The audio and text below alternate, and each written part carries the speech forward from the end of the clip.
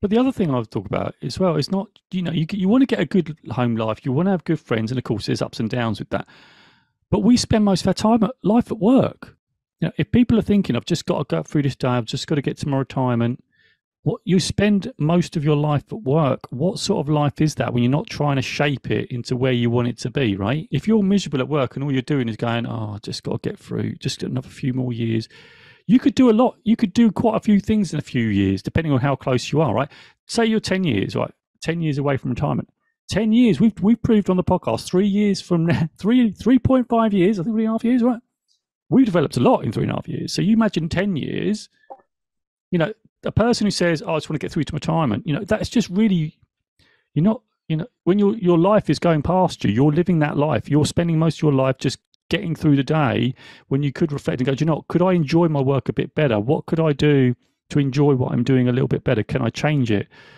Can I can I appreciate certain things? Do I need to change?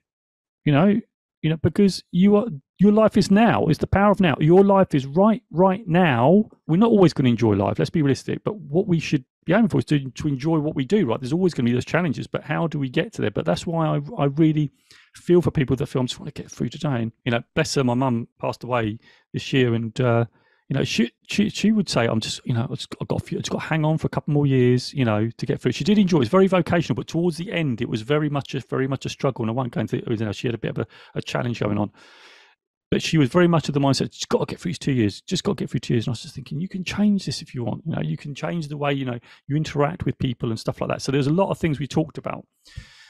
So anyway, that drawing on the back of what you said, Lee, that's what I really want to attack, really, because whether wherever this is life, so it could be you're in a relationship, it could be at work, you know, why should you have to put up with, oh, just got to su- survive? And sometimes you do have to just get through those moments, but to, to make sure you're putting things in place to, to start to improve things, to start to make things better, to make things a little bit more hope for the future that you can sort of aim towards. So, yes, you're, you've got this difficulty now, but what could I put in place to start to move me towards this, this thing that I really do want rather than just sitting in that place of letting the old man in or person in. I'm trying to sort of make it a bit more wider.